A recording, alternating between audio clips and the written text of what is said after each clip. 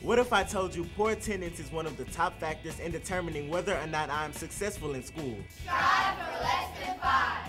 It can influence whether or not I can read proficiently by the end of third grade or be held back. It can be a leading indicator as to whether or not I would drop out of high school. Excused or unexcused. Excused or unexcused. Strive It doesn't matter if the absences are excused or unexcused. When I'm not at school, If I am not at school, I miss out on new information. Strive for less than five. I miss out on new information. Excused or unexcused. When I'm not at school, It takes me a while to catch up. I feel less connected to my friends and teachers, and it takes me a while to catch up. I get behind in my schoolwork. And my grades begin to drop. My grades begin to drop. And my grades begin to drop. Excused or unexcused. Strive for less than five. That's why at JPS, That's why at JPS, we are striving for less than five. With less than five absences, I won't miss out on instructional time. We are striving for less than five. So I can get closer to my fullest academic potential. I will have more test taking confidence. Even more test taking confidence. Being a JPS scholar, is my full time job. if I want to succeed, If I want to succeed, I have to show up.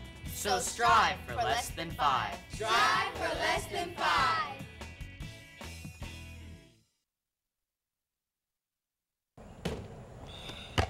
This is not my career, just so you guys know.